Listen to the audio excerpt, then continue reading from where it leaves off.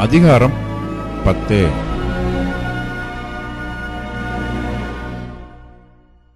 என் ஆத்மா ஜீவனை அரோசிக்கிறது. நான் என் துயரத்துக்கு எனக்குள்ளே இடம் கொடுத்து என் மன சஞ்சலத்தினாலே பேசுவேன். நான் தேவனை நோக்கி என்னை குற்றவாளி என்று தீர்க்காதிரும். நீர் எது நிமித்தம் என்னோட வழக்காடுகிறீர். அதை எனக்கு தெரியப்படுத்தும் என்பேன். நீர் என்னை ஒடுக்கி உம்முடைய கைகளின் கிரியையை வெறுத்து துன்மார்க்கரின் யோசனையை கிருபையாய் பார்க்கிறது உமக்கு நன்றாய் இருக்குமோ? மாம்ச கண்கள் உமக்கு உண்டோ? மனுஷன் பார்க்கிற பிரகாரமாய் பார்க்கிறீரோ? நீர் என் அக்கிரமத்தை கிண்டி கிளப்பி என் பாவத்தை ஆராய்ந்து விசாரிக்கிறதற்கு உம்முடைய நாட்கள் ஒரு மனுஷனுடைய நாட்களைப் போலவும் உம்முடைய வருஷங்கள் ஒரு புருஷனுடைய ஜீவ காலத்தைப் போலவும் இருக்கிறதோ? நான் துன்மார்க்கன் அல்ல என்பது உமக்கு தெரியும். உம்முடைய கைக்கு என்னை தப்புவிக்கிறவன் இல்லை. உம்முடைய கரங்கள் என்னையும் எனக்குரிய எல்லாவற்றையும் உருவாக்கி படைத்திருந்தும் என்னை நிர்மூலமாக்குகிறீர்.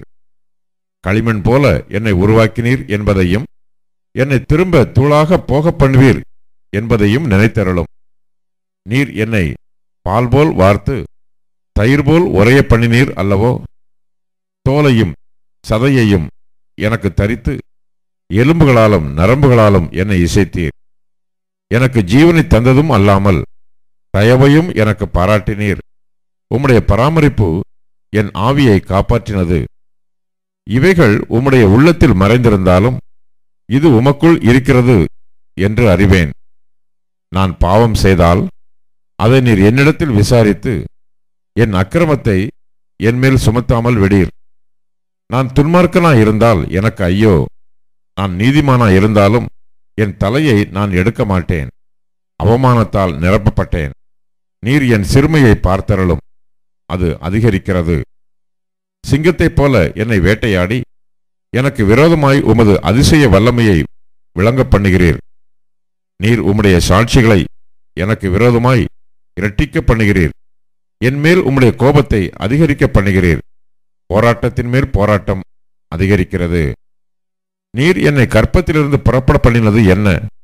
ஒரு கண்ணும் என்னை காணாதபடி நான் அப்பொழுதே ஜீவித்து போனால் நலமாமே.